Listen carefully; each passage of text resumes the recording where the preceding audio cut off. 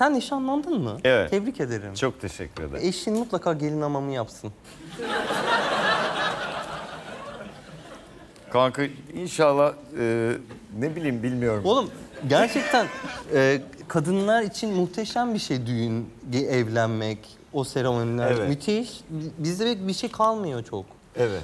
Ben bekarla veda partisi yapamadım.